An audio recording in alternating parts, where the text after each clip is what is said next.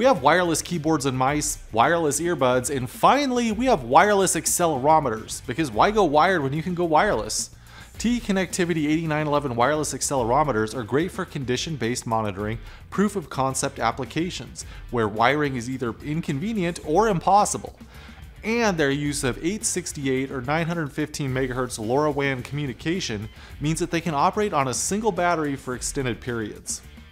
The 8911 wireless accelerometers are also user programmable for custom configurations, and they combine a sensor, data collector, digital signal processor, and radio into a single device.